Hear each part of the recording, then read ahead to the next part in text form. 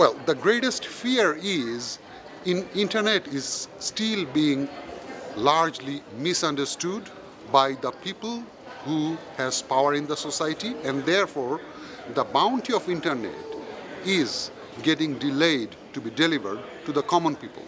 So the more time it takes, the longer it takes civilization to leapfrog.